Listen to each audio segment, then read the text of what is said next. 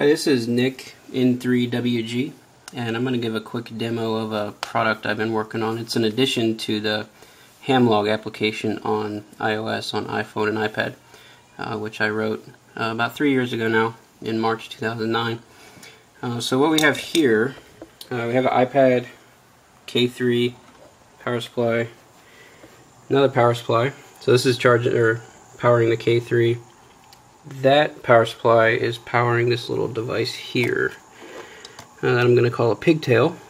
And uh, you can see it's got a 9 volt connector there a uh, DB9 serial port LED housing. There's no LED in there yet. And a switch just to turn it on and off. I'm not set on this enclosure but um, it all fits in there right now. So let's show what this thing can do so the uh, the pigtail runs um, runs on Wi-Fi. Uh, it can do ad hoc or uh, your standard infrastructure mode. So uh, I had several requests in the past to create some sort of device to get data automatically into Hamlog. So for example, if we're adding a contact here, uh, frequency and mode has to be typed in. Uh, it is automatically set based on the previous entry, but if you were to fr change frequency, then you have to type all that information in so that can be kind of annoying. And if you're in a situation where you have to, um, say you're in a pileup on a expedition or something like that, uh, and you have to type quickly, having to type in frequency and change mode um, can take a lot of time. So um, based on those requests, I started working on this device. And uh, so let's take a look at what we have here. So if I jump into settings, Actually, I think you couldn't see that frequency in mode a second ago. Alright, so if we look at Wi-Fi, we can see that we're connected to this device, Pigtail-34, and this is an ad hoc network, so there's no need for a wireless access point or anything like that. It's just iPad talking straight to the Pigtail device. Uh, we are connected, uh, statically set this IP, but it uses APIPA addressing, uh, so this can um, be fully dynamic. Alright, so let's start up Hamlog. And there's a new tool down here now called Pigtail Air. And this little device, it sort of pings itself out as being available every 8 seconds or so. So you can see one just popped up here. I selected it, that sort of uh, tells Hamlog that's what you want to use.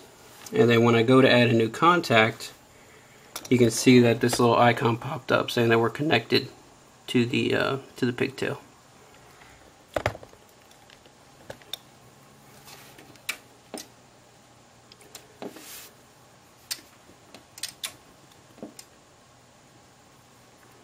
Alright, so I just rebooted the uh, the K3. There's some sort of issue I have to work out where um, if the K3 is already on and then you connect, it it doesn't always uh, immediately get, grab the information.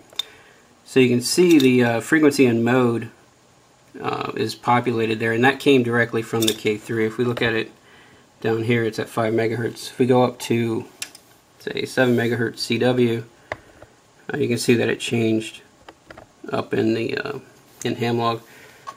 So let me um, run through these again. So there's 30 meters and change the mode, sideband. Oops.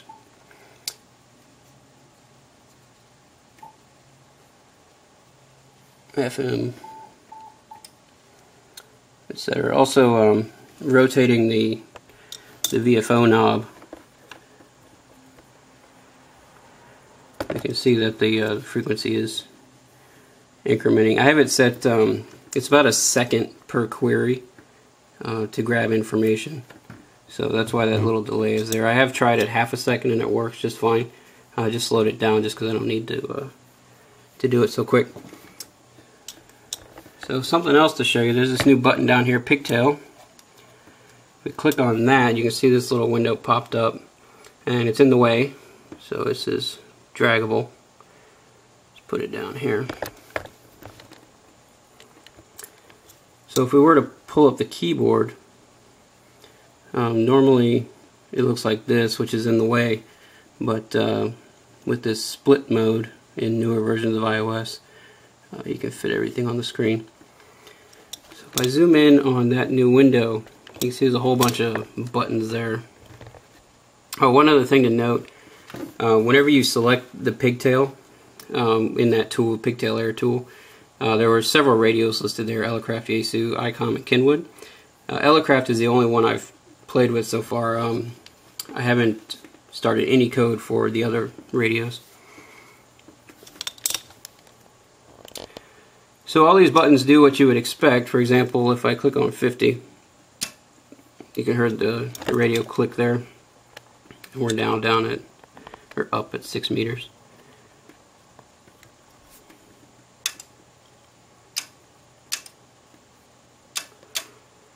And then you can increment the VFO with these buttons here.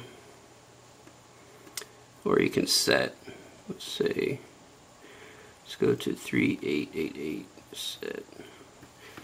Also, there's another small bug here. These buttons are kind of hard to get right as far as clicking, but they do work. So I just change down to 80 meters. Uh, we can also change modes here. So if we go LSB, uh, also um, notice that it is still changing up top as we click down here. So if I go to 30 meters, we're at 10 megahertz in CW.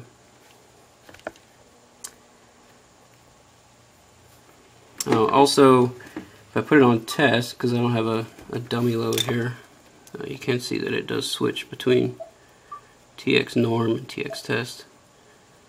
So let's go back to test, and I'm on 30 meter CW.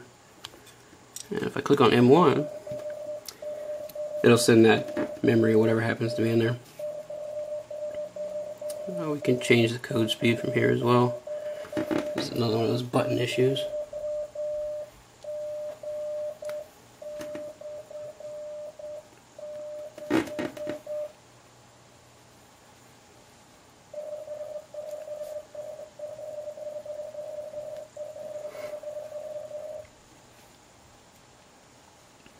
And we can also send CW directly from here.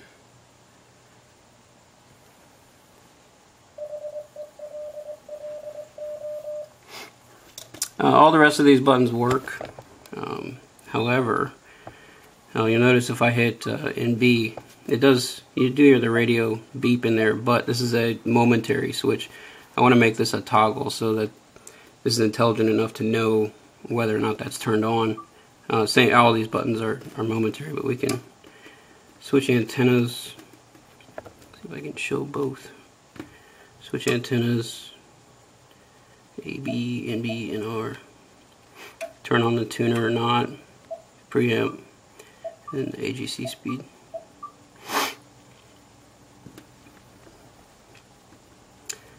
So that's where it stands right now.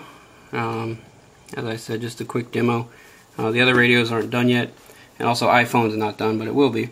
Uh, it won't be. It won't look like this, of course, just because the screen's a lot smaller. It'll probably be some sort of pop-over view uh, with all the buttons there. But um, currently, I only have this single device working.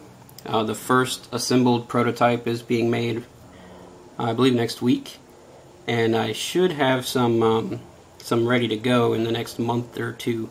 So um, in uh, in the email, I'll probably put a link to a uh, uh, interest form so I can gauge how many people might want one, so I know how many to get made. So uh, let me know what you think. Thanks. Bye.